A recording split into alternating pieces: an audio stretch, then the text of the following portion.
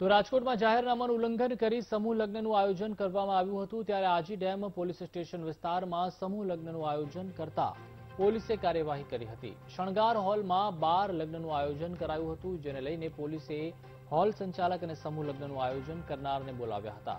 ત્યારે પોલીસ કાર્યવાહીને લઈને રેશમા પટેલે પોલીસ પર બેવડી નીતિ અપનાવવાનો આરોપ લગાવ્યો હતો. રેશમા પટેલે કહ્યું હતું કે ભાજપના કાર્યક્રમમાં પોલીસ કાર્યવાહી નથી કરતી.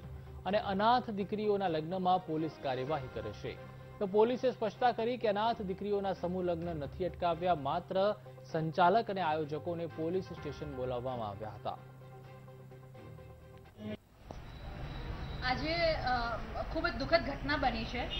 અહીંયા રાજકોટ ખાતે શણગાર હોલમાં જે હાજી ડેમ પોલીસ વિસ્તારના હદમાં આવે છે, ત્યાં બાર અનાથ દીકરીઓનું એક સમૂહ લગ્નનું આયોજન કરવામાં આવ્યું હતું.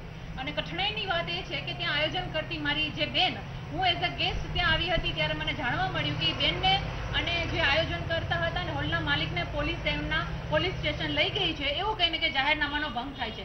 ત્યારે મારે એટલું કેવું છે વિજયભાઈ રૂપાણીને કે રાજકોટમાં આ જ દિવસે અત્યારે જ ભાજપના કાર્યાલયે ખૂબ જ મોટી સંખ્યામાં લોકો ઊભા થયા છે, ખૂબ જ મોટી સંખ્યામાં કાર્યકર્તાઓ ભેગા થયા છે અને જવાબદાર વ્યક્તિઓ પણ, પ્રદેશ મહામંત્રી જેવા વ્યક્તિઓ પણ ત્યાં હાજર છે.